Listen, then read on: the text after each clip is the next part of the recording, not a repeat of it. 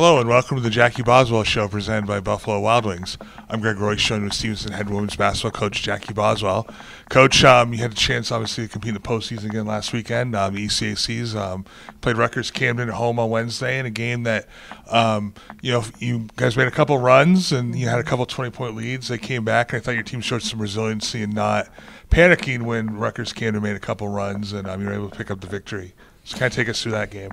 Yeah, I mean, you know, again, ECACs and postseason postseason play is always really important. Get to play teams that you wouldn't normally play, and Rutgers Camden being one of those. So, thought we did a great job um, jumping out on top early, and um, you know, being able to sustain those runs. That's what we've been talking about all year. That was one of the things that we were trying to get better at all year long. So it was nice to see that happen. Yeah, yeah. Obviously, you know, once you get a big lead, you don't want to let go of it, and you were right. able to, you know, hold that, and you got down to 10 or 12 a couple times, but mm-hmm. never really felt like the game was really in really in question. Right, I agree. Yeah, mm-hmm. and then um, so you travel up to Washington Jefferson, second time in three years you've gone mm-hmm. up there, and um, we're able to play Springfield, team that you've you know the program's never played. Right. And um, for three quarters, you know, hung right with them, and obviously they're a very good program. Their pro- their coach has been there. You know, she's won you know several hundred games, and um, mm-hmm. you know, very very good strong program. And You're able to hang with them for three quarters, but they just kind of uh, pulled away in the fourth. Yeah, you know, uh, again, another fun opportunity uh, to play such a good team with such good history. So, you know, really proud of you know the way that we played. Um, I thought that if the game could have stayed in a transition type game, that would be our game, and if they could slow us down, that was going to be their game. So, uh, I thought in the fourth quarter they really did slow us down, um, and that was able to make it go their way there yeah. at the end. Um, you know, transition wise, when we could get out and transition, I thought that that was definitely the way that we wanted the game to be played. Yeah, unfortunately. Yeah. yeah obviously, like you said all year, like your defense has kind of created your offense, and uh, right.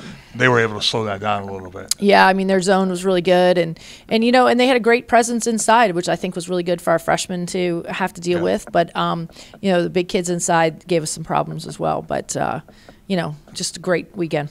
Yeah. So overall, obviously, you know that brings the season to a close. Um, so overall, obviously, you had a very young team this year, and you know you were able to get back to postseason and you know win a postseason game. So, um, just thoughts on the season and thoughts going forward for the future of this program.